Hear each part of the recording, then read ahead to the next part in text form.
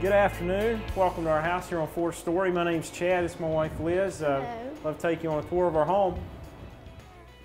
It's going to start out today with the living room. Uh, a very spacious room. You can see we've got nice hardwood floors in here, a large vaulted ceilings. This is where we spend the majority of our time as a family, be it watching television with the kids or reading books.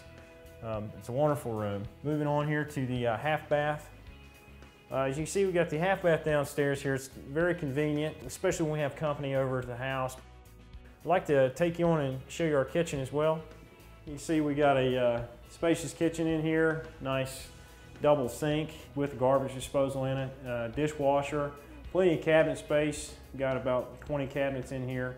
Nice flat top stove, and you can see also a refrigerator with an ice maker in it.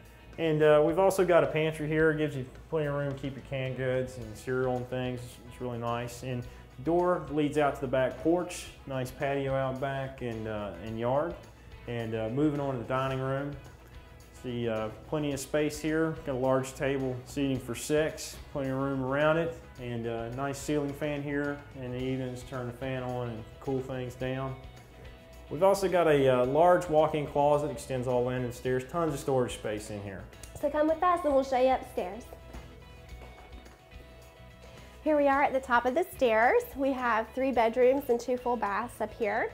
Uh, one of my favorite things about upstairs is our laundry area. Has a nice long shelf to store your cleaners and your washing items.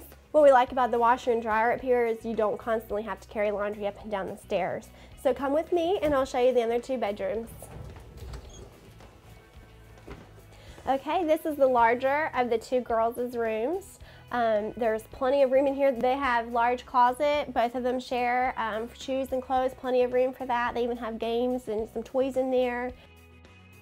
Come with me and I'll show you the other room. Here we are in our second girls' room.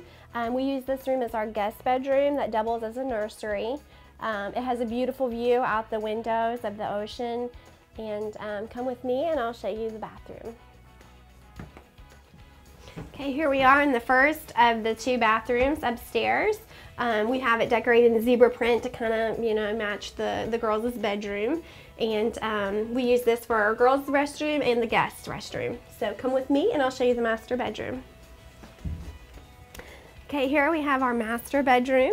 We have plenty of room in here. We have a queen size bed. We have wonderful view from our window. Uh, open the, the windows, we have a nice breeze, lots of light can come in. Behind here we have a large walk-in closet.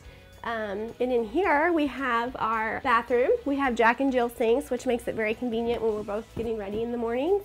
And we really like it. So thank you for coming. I hope you enjoyed the tour. Uh, living on post has definitely been a good value here in Virginia Beach. Uh, In the Tidewater area, very expensive to live, and we have considerable savings uh, staying on base. Um, from the diesel fuel that I don't have to spend driving everywhere every day to work to utilities, it's uh, definitely a good value. Thanks for taking this tour with us. Hope you've enjoyed it. Uh, goodbye, and hope to see you soon. Bye-bye.